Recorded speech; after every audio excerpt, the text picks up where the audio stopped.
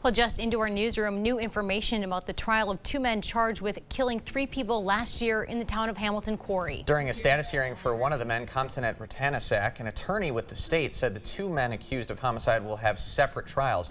Ratanasack and Nhia Thao are both charged with three counts of first-degree intentional homicide for the deaths of Peng Lor, Nemo Yang, and Trevor Maloney nearly a year ago. According to the criminal complaint, Ratanasack accused one of the victims of stealing $600, and despite offers to return the money, Ratanasack said he wanted the victim's life.